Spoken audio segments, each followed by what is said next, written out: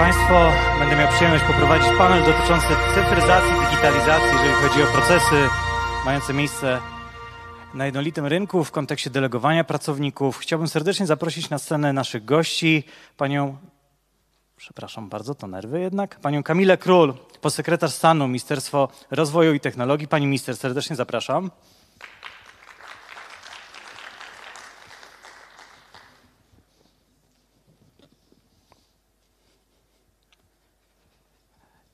Minister.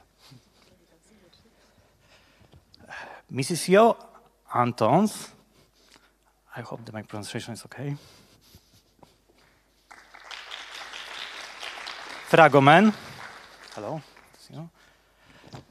Mr. Helge Kleinwege, European Commission, DG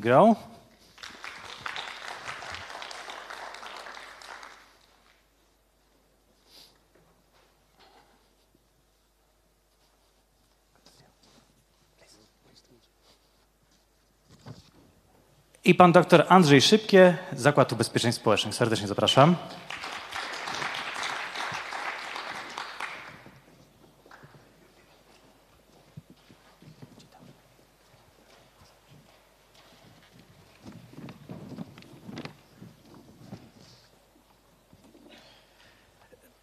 Szanowni Państwo, panel dotyczy digitalizacji, cyfryzacji w kontekście delegowania pracowników. Myślę, że tak naprawdę będzie pewnym podsumowaniem wątków, które dzisiaj już na tej sali były omawiane i w zakresie wyzwań, jakie napotykają przedsiębiorcy, pracodawcy w kontekście funkcjonowania na jednolitym rynku, ale również tak naprawdę porozmawiamy o tym, czym jest ta digitalizacja. Czy tylko jest to kwestia zastosowania postaci cyfrowej, czy może jednak digitalizacja może stanowić o pewnej ewolucji procesów i wymuszać pewne zmiany, szczególnie w kontekście ułatwienia funkcjonowania i przedsiębiorców, i stronie organów.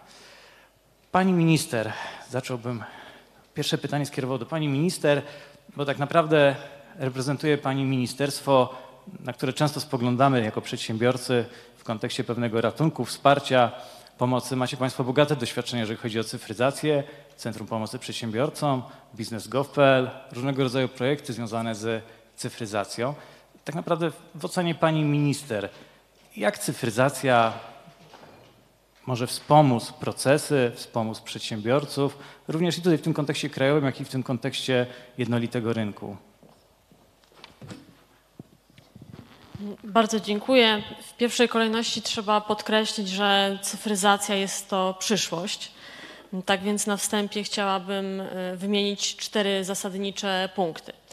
Po pierwsze, jest to ułatwienie dostępu do e, pełnej i rzetelnej informacji.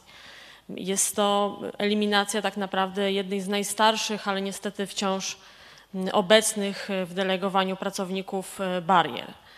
Z tego co wiemy, przedsiębiorcy transgraniczni nadal mają wiele problemów z ustaleniem zakresu obowiązków, jakie powinni spełnić w związku z delegowaniem pracowników dla wykonywania danych usług. Jest to po pierwsze czasochłonne, a po drugie generuje dodatkowe koszty. Po drugie, powinniśmy chętniej korzystać z narzędzi elektronicznych, ponieważ one niebywale ułatwiają e, funkcjonowanie przedsiębiorcom.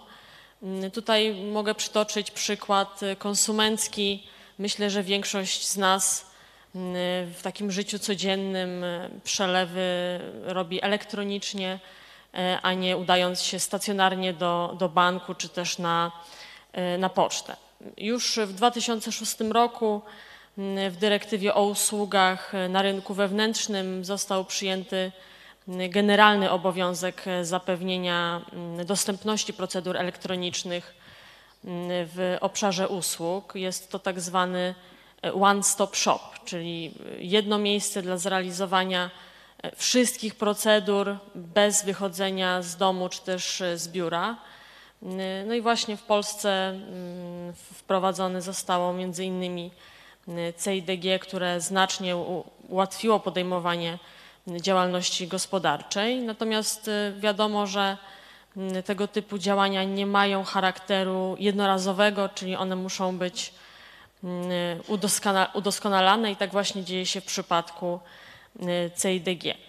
Po trzecie, y, dysponujemy unijnym systemem wymiany informacji na, na rynku wewnętrznym. I właśnie ten Internal Market Information System, czyli wielojęzyczny serwis internetowy, mm, który umożliwia wymianę informacji organom administracji państw członkowskich, jest y, mm, zaangażowanym y, w te, y, właśnie w te zadania.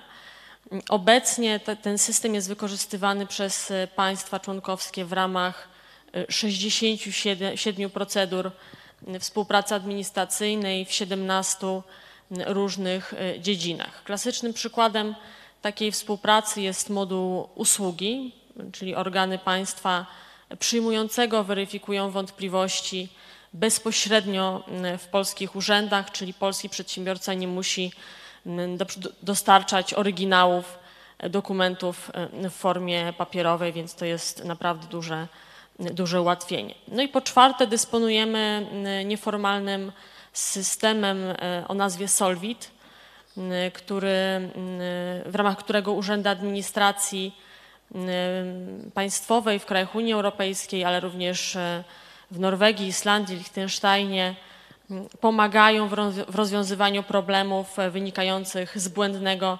stosowania przepisów unijnych przez organy administracji. To jest em, em, system bezpłatny, centra Solvit w każdym państwie członkowskim udostępniają sobie nawzajem otrzymane od e, wnioskodawców dokumenty, jak również m, nieformalne opinie właśnie e, poprzez bazę danych udostępnianą przez e, Komisję Europejską.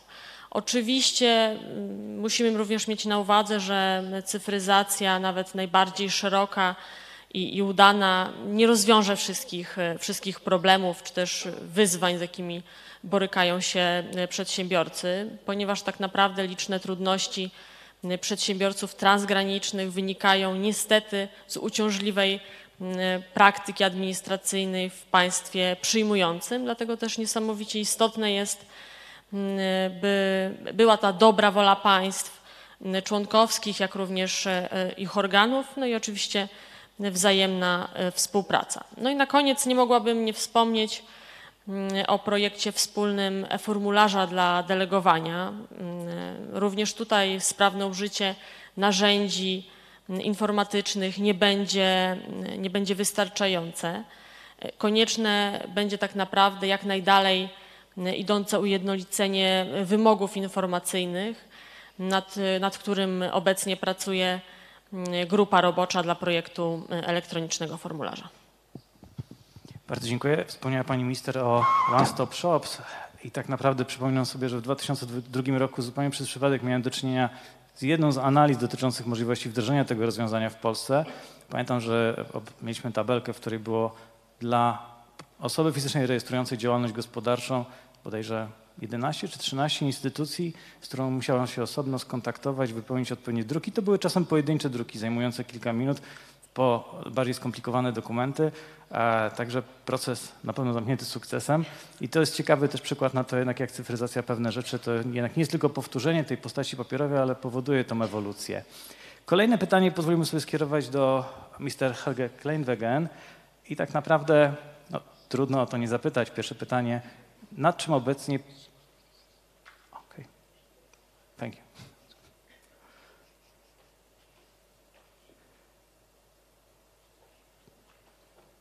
Okej. E, Nad czym obecnie pracuje Komisja Europejska, jeżeli chodzi o projekty, wdrożenie nowych rozwiązań w kontekście swobody świadczenia usług, delegowania pracowników? I od razu może drugie pytanie. W jakim zakresie te projekty w Państwa ocenie mogą się przełożyć na łatwiejsze funkcjonowanie przedsiębiorców, pracodawców na rynku wewnętrznym?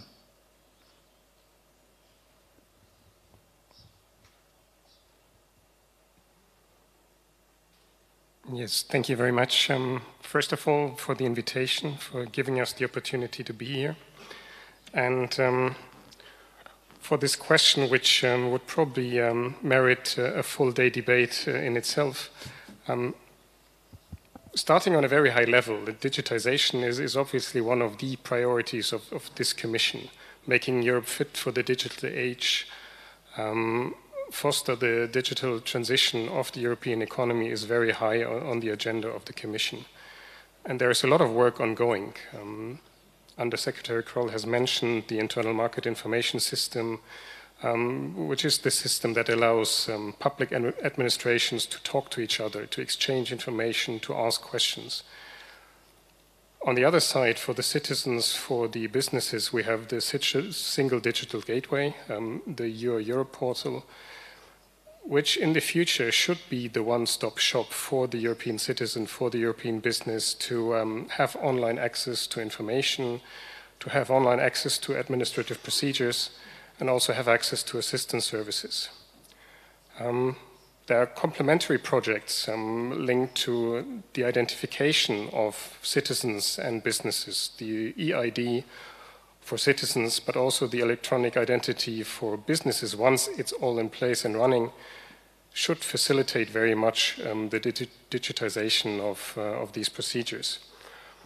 Um, we heard a lot um, today already about the A1 certificate um, that opens up the whole world of digitization of social security systems, and I'm sure we will hear about that also in, in this panel.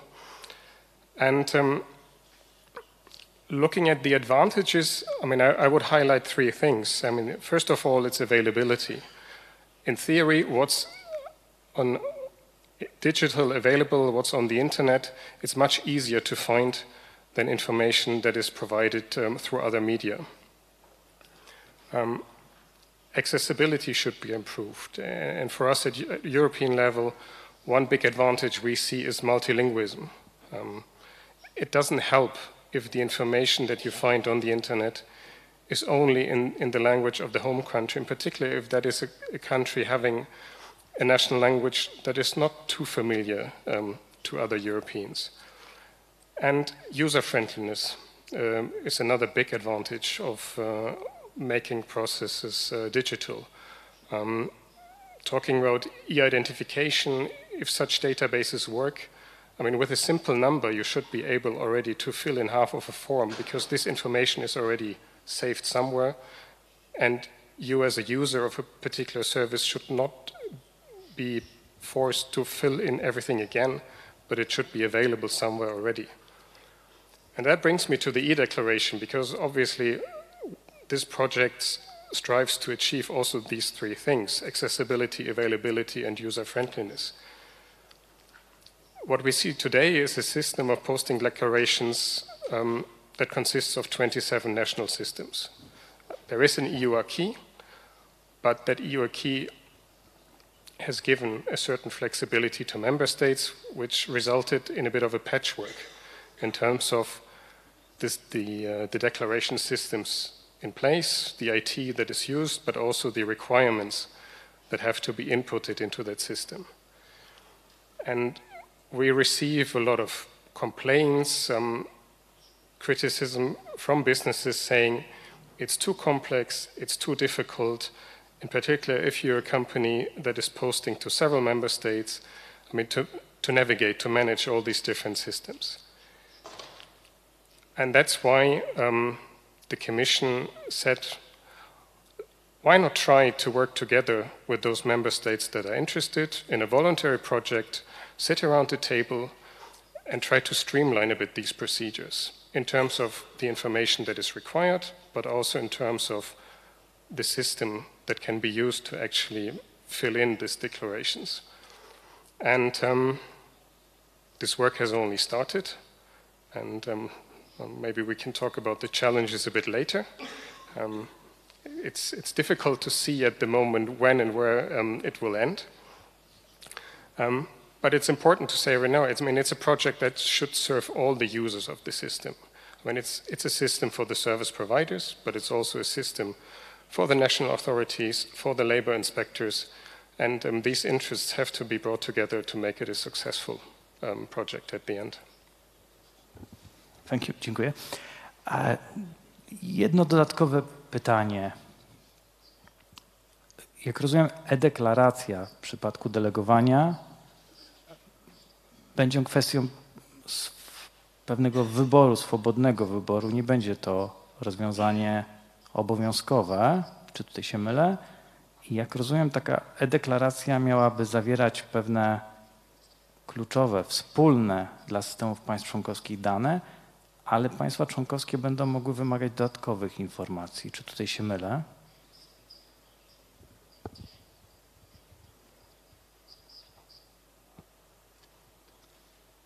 Well, as I said, what we have today is a system of 27 different national systems.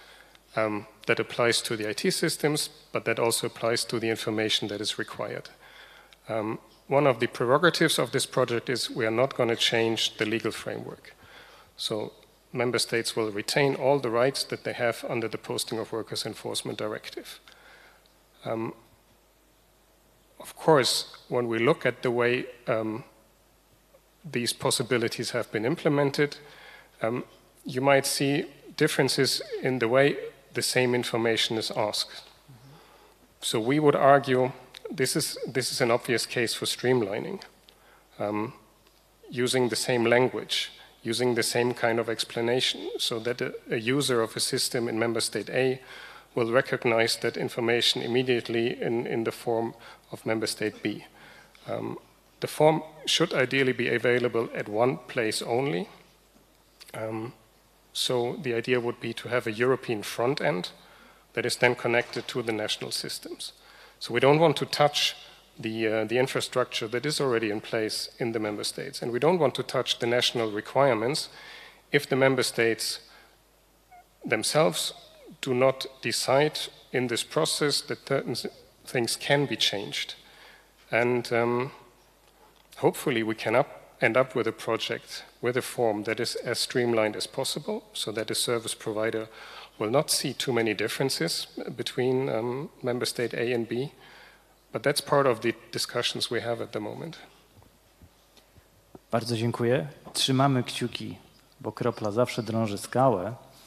E, I wrócimy jeszcze do dwóch wątków w kolejnej turze. W tej chwili skierowałbym pytanie do Mrs. Jo Antons. Państwo macie bardzo bogate doświadczenia w zakresie mobilności pracowników na terenie Unii Europejskiej. Z Państwa doświadczeń, perspektywy, jakie są takie kluczowe obciążenia, jakie napotykają przedsiębiorcy, jeżeli chodzi o mm, delegowanie pracowników? Mm, I czy następuje jakaś poprawa, czy też te warunki są wciąż tak bardzo trudne?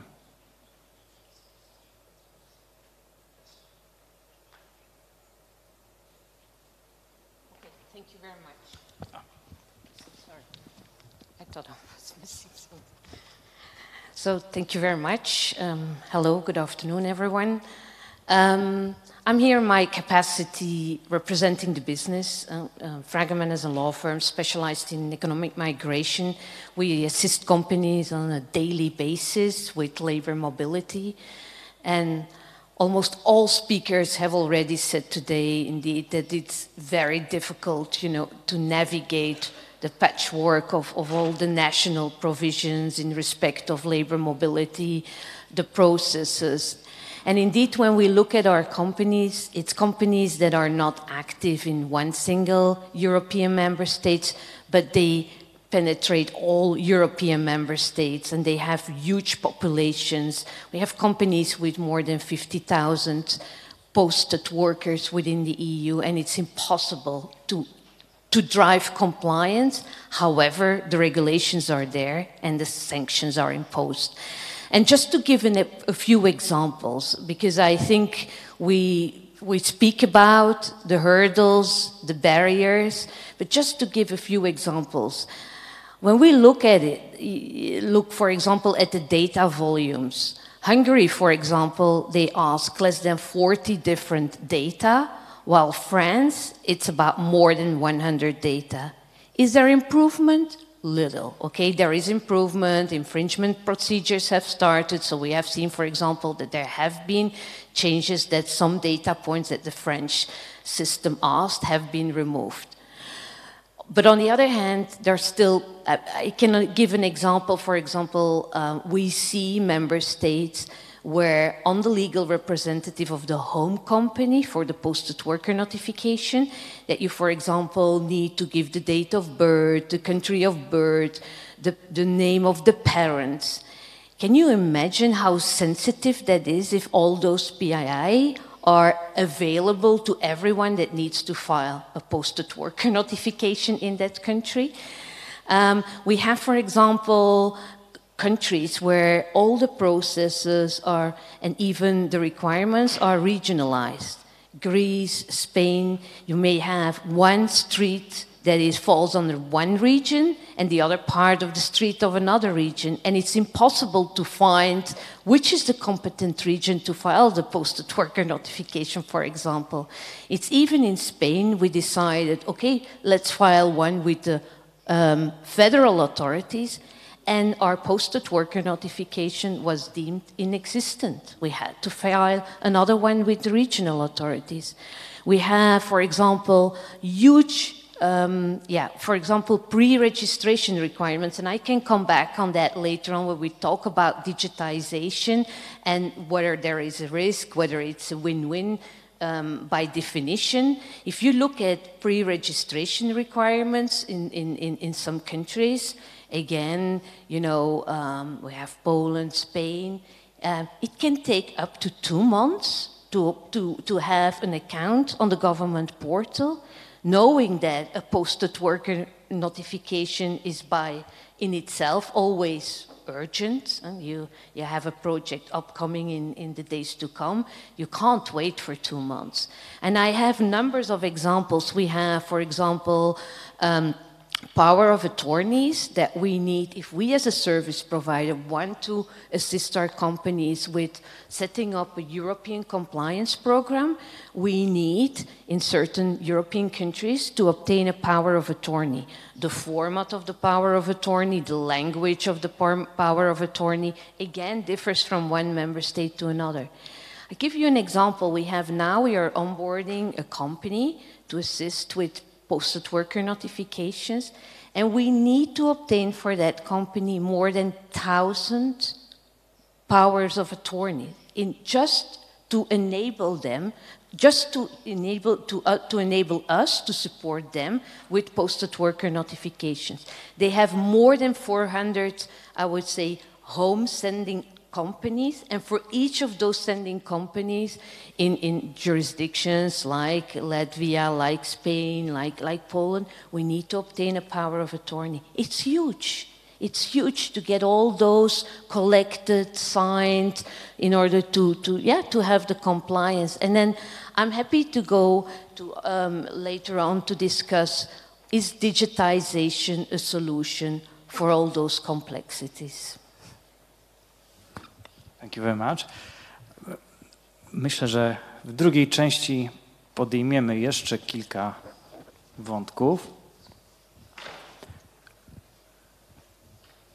I pytanie, panie doktorze, dzisiaj już kilkukrotnie mówiliśmy o osiągnięciach Zakładu Ubezpieczeń Społecznych, a wielokrotnie były wymieniane zaświadczenia A1, a Prośba o takie krótkie podsumowanie, tak naprawdę, jak ta ewolucja po stronie Zakładu Ubezpieczeń Społecznych wyglądała, jeżeli chodzi o odpowiedź na wyzwania związane ze zachodzącymi zmianami, które przecież też COVID znacznie przyspieszył, jak ta cyfryzacja obecnie wygląda, ale też w tym kontekście, czy macie też Państwo jakieś wnioski dotyczące tego, jak ta cyfryzacja poprawia efektywność, zarówno jeżeli chodzi o obsługę przedsiębiorców, jak i działalności po stronie Zakładu Ubezpieczeń Społecznych? E, dzień dobry, ja również bardzo serdecznie dziękuję za możliwość udziału e, w tym panelu, szczególnie, że e, w, można by naprawdę dużo opowiadać.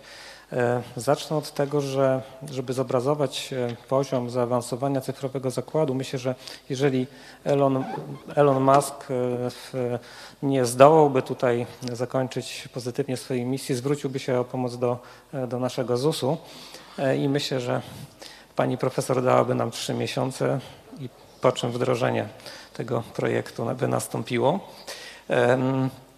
A jeśli chodzi o taką perspektywę ostatnich lat, to jest to duży przeskok cywilizacyjny. Znaczy z jednej strony oczywiście mamy miliony ubezpieczonych, miliony płatników, miliony świadczeniobiorców, mamy ogromne, e, ogromną populację, którą obsługujemy i to stawia przed nami duże wyzwania.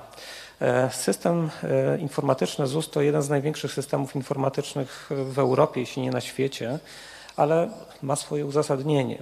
Dlatego, że jeżeli tak w oderwaniu tą informację się rzuci, to nic ona nie oznacza. Jeżeli porównamy polski ZUS, polską administrację ubezpieczeń społecznych z administracją Niemiec, Francji, Belgii czy innych państw, to okazuje się, że ZUS skupia w sobie kompetencje kilku, czy kilkunastu, czy kilkuset czasami różnych instytucji, gdybyśmy to porównali z innymi państwami.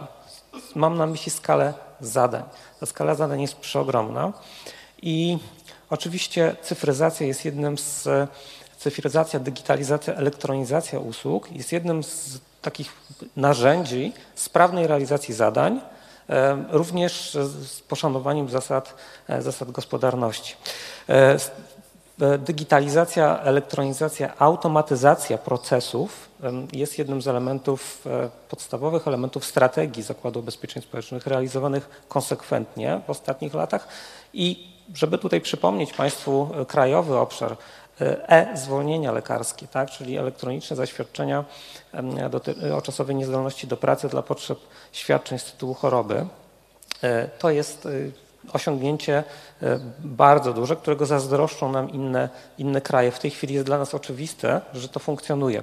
COVID i tutaj konieczność wsparcia e, przedsiębiorstw, wsparcia, wsparcia pracowników te doświadczenia, które mieliśmy w czasie COVID-u, e, wypracowały różne możliwości, czy jakby spowodowały tak naprawdę, że dotarliśmy do różnych możliwości technologii, które pozwoliły nam, żeby e, zadania, które mamy powierzane, realizować w sposób zautomatyzowany.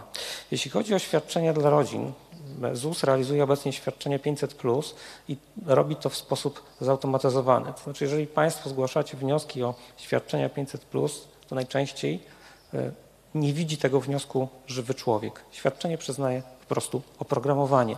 Dotyczy to ponad 95% wszystkich świadczeń. A mówimy o milionach świadczeniobiorców, milionach dzieci, które korzystają z tego programu. Dzięki naszym, naszemu zaawansowaniu tak naprawdę cyfrowemu jest to możliwe. Ja pamiętam jeszcze parę lat, jak słuchałem opowieści, ktoś mówił, a co to będzie, jak automaty zaczną zastępować ludzi? To w tej chwili mogę opowiedzieć, jak to faktycznie wygląda. Tak, automaty zastępują ludzi, ale co jest istotne, w prostych czynnościach to wymaga oczywiście zmiany prawa i prawo powinno być w służbie, e, w służbie tak naprawdę również realizacji sprawnej zadań w taki sposób, żeby umożliwić w sposób e, jak najprostszy bez niepotrzebnych barier biurokratycznych, administracyjnych realizować te zadania. Jeśli chodzi o obszar międzynarodowy, to tylko powiem, że tutaj mamy szereg doświadczeń, przede wszystkim systemem elektronicznej wymiany danych ESSI. To jest bardzo świetne rozwiązanie i tu trzeba naprawdę może trochę w tej beczce dziegciu e, troszeczkę dzisiejszej tą łyżkę, łyżkę miodu dodać. E, duże podziękowania dla Komisji też Europejskiej i myślę, że wszystkich państw członkowskich powinniśmy sobie podziękować za system ESSI. Co to jest system ESSI? Dla tych, którzy nie wiedzą. Ano, instytucje zabezpieczenia społecznego, ubezpieczeń społecznych, takie, które czy to delegują pracowników za granicę, czy przyznają zasiłki, emerytury, renty, to jest ponad 4000 instytucji podłączonych do tego systemu elektronicznie w Europie. E, komunikuje się ze sobą, żeby załatwić sprawy, sprawy renty, sprawy emerytury, sprawy dotyczące delegowania, sprawy dotyczące e, artykułu 13 pracy w kilku krajach, komunikuje się ze sobą elektronicznie, w sposób elektroniczny, na formularzach elektronicznych. To jest gigantyczny przeskok cywilizacyjny z papierowej obsługi spraw, żeby Państwu uświadomić skalę. ZUS w tamtym roku wysłał, wysłał 2 miliony 137 tysięcy takich formularzy za granicę. Wyobraźmy sobie papier, gdybyśmy teraz wysyłali, tak? To już nie mówię o aspekcie ekologicznym, to po prostu to jest zupełnie inna, inna e, jakość pracy w tym momencie, tak? I ponad 900 tysięcy do, dokumentów przychodzących w tych sprawach międzynarodowych.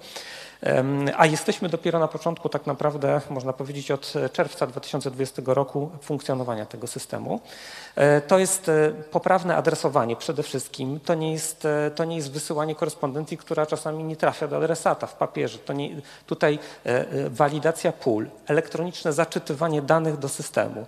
E, Wdrożyliśmy w, właśnie w, em, od początku e, automatyczne zaczytywanie danych z formularzy, na przykład potwierdzenia okresów ubezpieczenia. Tak?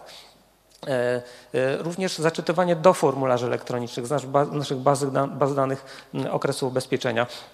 Czyli szereg m, takich e, elementów wspierających tak naprawdę sprawne komunikowanie się. Czyli po co to wszystko? No po to, żeby jak najlepiej tak naprawdę obsłużyć sprawy naszych klientów, bo po to jesteśmy. Tak? Jesteśmy po to, żeby obsłużyć płatników, ubezpieczonych, świadczeniobiorców, wnioskujących o em, emeryturę, rentę czy zasiłki.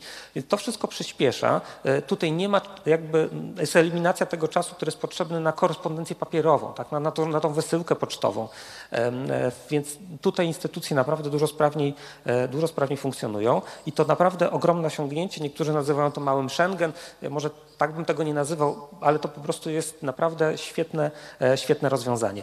E, Kolejne świetne inicjatywy, to już krajowe, uzupełniające to, e, to jest elektroniczne zaświadczenie A1, które wprowadziliśmy od kwietnia ubiegłego roku i to też się e, sprawdza. To też pozwala nam na to, żeby mając dane elektroniczne sprawniej procedować je. To, co właśnie e, o czym wspomniałem, system ESI jest tym systemem, przez który komunikujemy się z zagraniczną instytucją.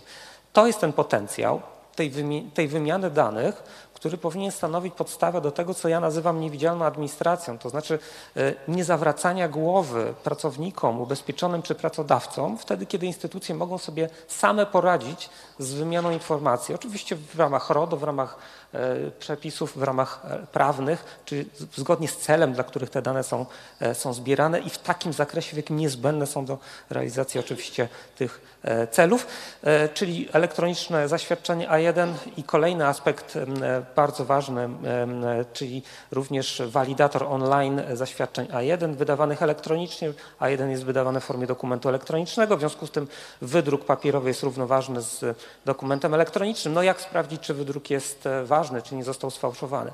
Ano mamy taki walidator online, gdzie poprzez wpisanie unikalnych danych, które są na tym zaświadczeniu, na tym wydruku, e, urzędnik na przykład e, COLAMT-u czy jakiegoś innego e, organu może sprawdzić, czy taki dokument został wydany, czy jest ważny, czy nie został wydany, czy jest wydany nieważny. Może w określony sposób sprawdzić antyfrodowo taki tego typu dokument. Również kontrahenci, nie wiem, na przykład belgijscy, którzy odbiorcy usług, tak, firmy, które delegują tak z Polski mogą również z tego narzędzia korzystać. Bardzo rozpropagowujemy, bardzo tutaj zachęcamy do tego, żeby z tego e, korzystać. E, To jest dla nas szczególnie ważne, bo obserwujemy, że właśnie musimy walczyć niestety również z szarą strefą, czy czarnym rynkiem, czy właściwie z barbarzyństwem XXI wieku, a no mianowicie fałszowaniem zaświadczeń A1, czy delegowaniem bez e, A1. Wykrywamy to i cieszy mnie to, że polskie sądy zaczynają również karać e, karnie w procesach e, również takie, taki, takich nieuczciwych ludzi, którzy, którzy się tym parają. Także te e, nasze doświadczenia są boga- bogate i mają charakter zarówno krajowy, jak i międzynarodowy. To tak bardzo pokrótce. Bardzo dziękuję. Pewnie, pewnie do niektórych wątków wrócimy jeszcze w drugiej turze pytań. Przechodzimy w takim razie do drugiej części, ale tak naprawdę ta druga część będzie zapewne w dużym stopniu nawiązaniem do, tego, do tych wątków, które poruszyliśmy w pierwszej części. Mm, Pierwsze pytanie bym skierował w tej drugiej części do Mr. Helge Kleinwegen. E, Zaczęliśmy mówić o tych procesach digitalizacji, które następują, które inicjuje Komisja Europejska. I może trochę szerzej byśmy powiedzieli na temat tego wątku, jakie wyzwania, trudności Państwo jako Komisja Europejska napotykacie, bo z perspektywy przedsiębiorców, w dużym stopniu uczestników dzisiejszej konferencji, e, tak naprawdę pewne rzeczy powinny się zadziać i czasem może być niezrozumienie, dlaczego one się nie dzieją tak szybko, jakbyśmy tego oczekiwali. Jakie Państwo jako Komisja Europejska napotykacie wyzwania, trudności?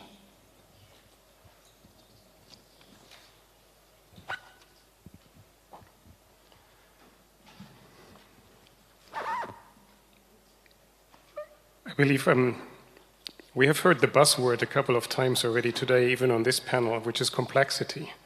And complexity is probably a good description of, uh, of all the challenges taken together. And, and there is complexity um, on all levels, and, and, I don't want to exclude the EU level here. Um, but when we look at, um, at the member states, the declaration systems that um, we want to bring together in this project, um, we see a very diverse landscape, uh, as I already mentioned in, in, my first intervention. I mean, the, first of all, on the technical level, um, the national declaration systems, they are extremely different. Um, we have, on the one hand, what I would call very sophisticated systems that are connected to European national databases um, with tax and business information, where these backends of these uh, systems are um, not only available to the labor inspectorates, but they're connected to other national authorities in a member state. And um, on the other, other, end of the spectrum, we have um, declarations which are simple emails um, with an Excel table attached to them and which are then processed manually um, in the member state in question. And they can already see the difficulty of bringing these two extremes together in one project that is supposed to deliver a single digital form um, for the declaration of posting of workers. Um, so an IT person thinking about interoperability will have already gray hairs um, um with that challenge though they always say technically everything is possible. So I, I hope that is true, um, not being an IT person. Um, another thing is terminology. Um, as I said, we have the feeling very often the same thing is asked in different ways. So there might already be a, um, a good chance to, to, to, come to a common denominator on, on many issues um, if we have the open mind necessary for that. And there is obviously a regulation. Um, and that, first of all, of course, applies to the information requirements, um, the implementation of the Article 9 of the Posting of Workers Enforcement Directive. Um, these requirements also differ from member state to member state. And if these um, requirements are enshrined in legislation, again, it, it will be difficult to discuss them because inherently, I mean, you, you, will have to discuss also possible revi revision of national law, um, which is obviously a difficult subject um, always. But I, what I would consider maybe the main challenge that we have in the discussion is, is, first of all, perception. So it's not so much about the law, it's not so much about the, the technology, but it's about the way you look at the posting of worker declaration and what is, is it good for and to whom does it belong? Um, is it a tool for the service provider? Is it a tool for the worker? Is it a tool for the national authority or is it a tool for the labor inspector? And um, there are different perceptions about that, and um, depending what your perception is, you have a, have a particular standpoint in the discussion. And here we would say, well, it should serve everybody everybody who is involved should benefit from this declaration. But to find the balance, I mean, we, we need to work together, and we need to work together in a good spirit and with an open mind. Um, we have a joint responsibility, um, not only for the single market, but I think that should be underlined. I mean, Commission and Member States have a joint responsibility um, to make the internal market work and to make everybody benefit from the internal market.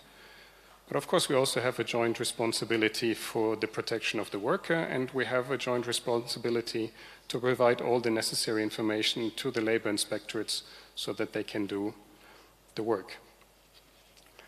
Um,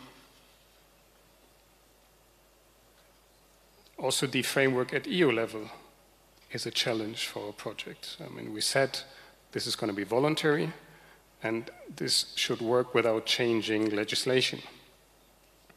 Um, in that sense, not only the posting are key, but also rules around like data protection. Uh, since we're talking a lot of personal data in, in posting declarations, um, is going to be a hurdle to jump over. And last but not least, also um, data availability is an issue. Um, these complementing actions I've mentioned in the beginning, all this would be so much easier if we had databases already with these informations that we could just use, that we could tap into this declaration, where with a simple number you could uh, already generate half of the form. Um, but we see that um, even those databases that exist, like the EU VET database, it works as long as the information is complete. And, and we know that for some member states, it is, it is a good tool to generate information because they feed a lot of information into the database. For others, it's more or less useless because the information that we would need for the declaration form is not given by the member state. Um, electronic identification, it's all there on the horizon, but it's not there yet. Um, and we have to see how long it's going to take. Um, national registers, business registers, um, they exist in many cases. They're probably complete in many cases, but there is no cross-border access. An authority in one member state does not have seamless access to that national database in another member state. So again, there is no possibility to pull information. And um, you see, um, with all these challenges, probably going to take some time to actually achieve what was stipulated in, in the enforcement directive itself, what this e-declaration should be. I mean, it says it should be a simple declaration. It should be user-friendly. It should be offered at a, at a distance and by electronic means. And, and I would hope that at some point we can say we managed to achieve that. But um, as you said, fingers crossed, um, there's still some work to be done. Thank you very much. When I was asking, I thought about two or three challenges. Now I see the full picture. Thank you. I think that we'll come back. I hope that we'll come back uh, to one or two points you mentioned. Uh, the next question. Pani minister, mm, bo tak naprawdę mam to szczęście akurat, że dzisiaj w panelu z polskiej perspektywy biorą udział przedstawiciele dwóch instytucji, które kojarzą mi się przynajmniej przedsiębiorcom z cyfryzacją, pewnym postępem, digitalizacją. Ale patrząc na tą perspektywę unijną, jaka jest Państwa ocena tak naprawdę tych inicjatyw, które mają miejsce e, na poziomie unijnym? I tutaj może byśmy odkodowali, bo jest takie tajemnicze hasło SMET. E, czy coś więcej moglibyśmy na ten temat powiedzieć, bo ono się pojawia dość często w tych dyskusjach dotyczących tak naprawdę jednolitego rynku. Bardzo dziękuję. W pierwszej kolejności chciałabym podkreślić, że w Ministerstwie Rozwoju i Technologii staramy się patrzeć na wszelkie utrudnienia na jednolitym rynku z punktu widzenia przedsiębiorcy. Także wszystkie, wszystkie bariery, które identyfikujemy dzięki przedsiębiorcom, staramy się analizować pod kątem ewentualnych możliwości zastosowania łagodniejszych środków. Jeżeli chodzi o powołany w 2020 roku SMET, on właśnie działa na podobnej zasadzie. Ale zanim tutaj powiem trochę więcej, to chciałabym podkreślić, że zgodnie z przepisami europejskimi stosowanie wymogów administracyjnych i środków kontrolnych ma służyć efektywnemu monitorowaniu zgodności delegowania z prawem. I tutaj nadrzędnym celem jest ochrona pracowników delegowanych, jak również zapewnienie uczciwej konkurencji na rynku Unii Europejskiej. Niemniej jednak należy również pamiętać, że delegowanie pracowników jest to komponent swobody przepływu usług, natomiast przedsiębiorcy muszą być w stanie realizować swoje prawo do czasowego, transgranicznego świadczenia usług. I tutaj konieczne jest znalezienie tego złotego środka pomiędzy, pomiędzy tymi celami, a jednym z ważniejszych elementów pozostaje właśnie ustalenie jasnych, prostych i w możliwie największym stopniu jednolitych zasad. Oczywiście w realizacji tego celu cyfryzacja również będzie miała swój udział.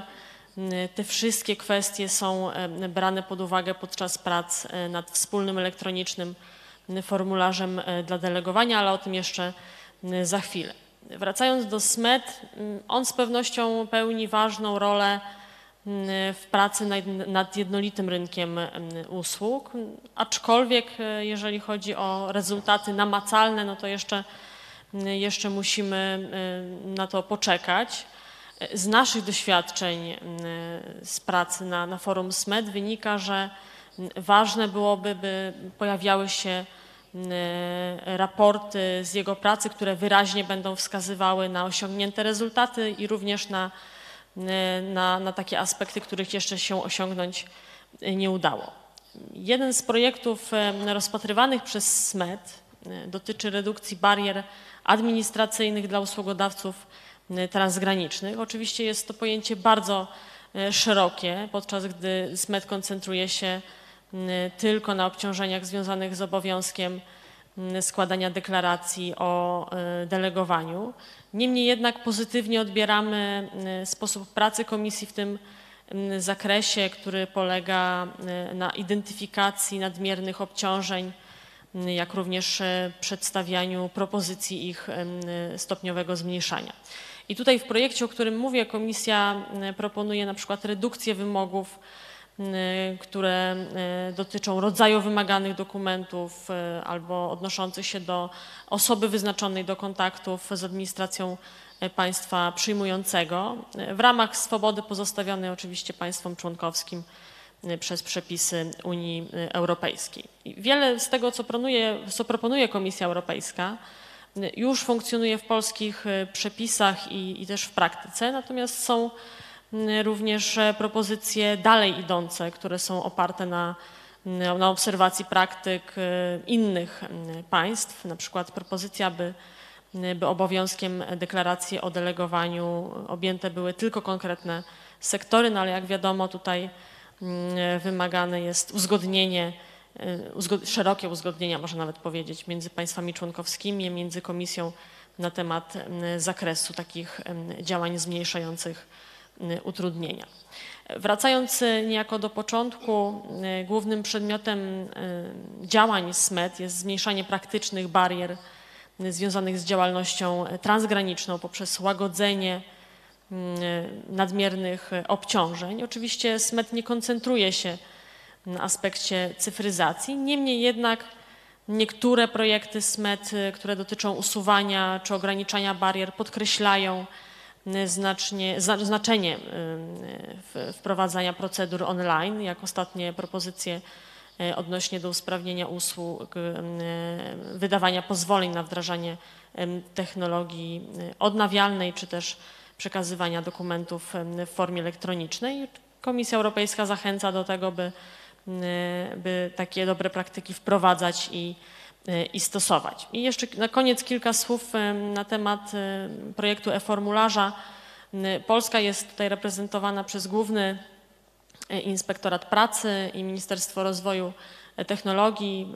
Od początku prac w grupach roboczych bierzemy, bierzemy czynny udział w, w pracach tej grupy roboczej do spraw wspólnego elektronicznego formularza dla delegowania.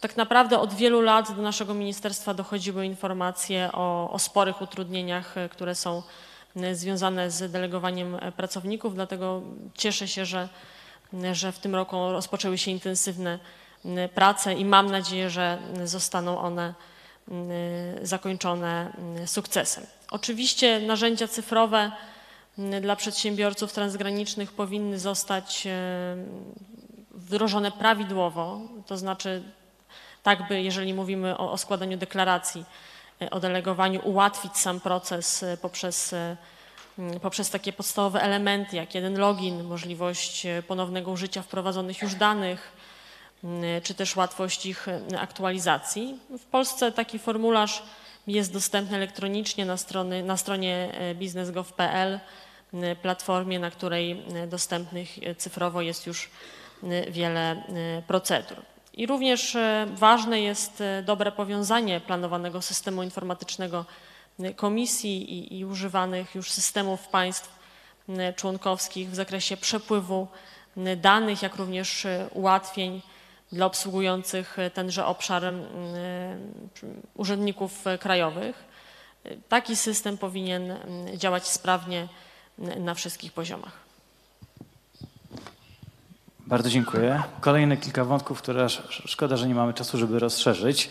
Nawet nie będę mówił, że zdążymy, ale panie doktorze, e, usłyszeliśmy bardzo dużo na temat tego, co zadziało się w Zakładzie Ubezpieczeń Społecznych i ta cyfryzacja, tak naprawdę Państwo przeszliście, mówiąc kolokwialnie, na cyfryzację, jeżeli chodzi o obsługę zaświadczenia A1, ale może jest coś jeszcze, co z Państwa, perspektywy Państwa instytucji mogłoby zwiększyć efektywność tak naprawdę, albo inaczej, ułatwić działalność przedsiębiorcom, jeżeli chodzi o tą swobodę świadczenia usług i przemieszczania się pracowników. I takie pytanie z mojej strony, może bardziej praktyczne. Jak to zaświadczenie A1 jest wydawane elektronicznie, to ono jest rzeczywiście uznawane w każdym państwie członkowskim? Tak z ciekawości. E, Już odpowiadam. E, Zacznę od ostatniego pytania. E, Nie, ma, nie mamy żadnych informacji, żadnych skarg, żadnych zastrzeżeń co do tego, żeby nie było honorowane to zaświadczenie, a wręcz na niedawnych warsztatach zorganizowanych przez ELA, no to nasze przedsięwzięcie, e, wdrożenie tej usługi spotkało się z dużym entuzjazmem ze strony przedstawicieli chociażby em, Zolamtu em, niemieckiego i innych, e, innych instytucji, więc e, nie mamy takich, takich tutaj, e, to ma- mam na myśli narzędzie do walidacji, e, do walidacji sprawdzenia autentyczności A1. Em, Więc na razie to funkcjonuje e, tak, jak powinno. E, Natomiast e, co jest istotne? Istotny jest ten obszar e, europejski rozwoju. Po pierwsze e, Business Process Improvement, e, taki projekt, który Komisja Europejska rozpoczęła, w którym, e, w którym e, tutaj e, bierzemy udział w, w ramach Unii Europejskiej rozwoju e, właśnie systemu ESI, rewizji zasad, które tam funkcjonują, e, pewnego ujednolicenia, pewnego uporządkowania e, e, danych, struktur i pewnych pojęć. To będzie służyć jako przedpole do zwiększenia poziomu automatyzacji. To znaczy liczymy na większe zintegrowanie systemu ESI z naszymi krajowymi bazami danych poszczególnych państw członkowskich. E, I no, chcielibyśmy doprowadzić do tego, żeby jednak dużo tych informacji, które już są przekazywane dla celów kontrolnych, jakby no nie było potem dublowane w ten sposób, że firmy, instytucje, podmioty y, proszą pracodawców jeszcze raz nam to pokażcie albo jeszcze najlepiej w formie papierowej. No nie tędy droga. Droga jest do tego, żeby cyfry, cyfrowo wymieniać się tymi danymi, dzielić się bazami, e, bazami danych. Liczymy na też e, automatyzację pewnych procesów wystawiania, wydawania zaświadczeń A1 oraz kontrolowania tych zaświadczeń. A to dlatego, żeby tak naprawdę wykorzystywać potencjał pracowników, potencjał ludzki do zadań trudnych. E, Zadania proste powinno robić e, oprogramowanie i e, to jest też taki kierunek, który, nam, który dla nas jest ważny. Bardzo istotny również jest projekt realizowany teraz e, European Social Security Pass, ISS Pass tak zwany, który dotyczy mobilnej, mobilnego zaświadczenia A1, tego typu inicjatywa, w której jesteśmy, funkcjonujemy jako tak zwany subject matter expert. Bardzo zależy nam na tym, żeby, żeby też tego typu przedsięwzięcie było kompatybilne z innymi właśnie przedsięwzięciami. To ESSI jest takim dzieckiem naszym wspólnym, europejskim. To jest system, który ma ogromny potencjał. I to, co z tym zrobimy, zależy od nas jako, e, jako państw członkowskich e, we współpracy z Komisją. E, I rozwój tego systemu to na pewno jest, na pewno jest kluczowy. Bardzo istotne jest jeszcze, powiem szczerze, identyfikacja. To znaczy identyfikacja jest taką e, piętą Achillesa, jeśli chodzi o wymianę danych, bo e, nie ma jednego systemu identyfikacji transgranicznej e, ubezpieczonych pracowników. Pytanie, czy jest realne od strony prawnej stworzenie jednego numeru ubezpieczenia społecznego. Tutaj jest wiele głosów krytyki, wątpliwości różnego rodzaju. Natomiast musimy mieć jakąś alternatywę. Być może technologia blockchain, być może inne rodzaje technologii do wykorzystania, ZUS jest otwarty na tego typu przedsięwzięcia. Przed tym em, S-pasem e, prowadziliśmy em, e, taki, taki tutaj współ, współprowadziliśmy razem z wiodącą de- delegacją włoską, e, włoskiego e, e, INPS-u e, właśnie taki mini projekt, który pokazywał, że jest możliwe w oparciu o blockchain zbudowanie transgranicznych, e, transgranicznych również wymian e, informacji w kontekście identyfikacji, szczególnie antyfrodowej, ale nie tylko, więc e, otwieram, jesteśmy otwarci, nie zamykamy się na e, technologii. Także to są te kierunki na pewno, które są istotne i, e, i to, co powiedziałem, rozwój systemu ESI również e, wewnątrz. I oczywiście usprawnienia różnego rodzaju. No mamy w tyle głowy wiele różnych projektów i pomysłów, jak usprawnić jeszcze bardziej procedurę samą w ogóle wnioskowania o zaświadczenie A1 i na pewno w tym kierunku będziemy szli, żeby jak najbardziej to upraszczać. E, No i chyba największe wyzwanie to w sposób masowy przyjmować, e, przyjmować wnioski, ale to jest już kwestia, która e, będzie wymagać naprawdę skomplikowanych analiz. Bardzo dziękuję. I pytanie do Mrs. Jo Antons. Z Państwa perspektywy, jako praktyków, jakie jeszcze albo nowe inicjatywy w zakresie digitalizacji byłyby interesujące dla przedsiębiorców? Jakie mogą być wdrożone, żeby ułatwić mobilność pracowników w Unii Europejskiej?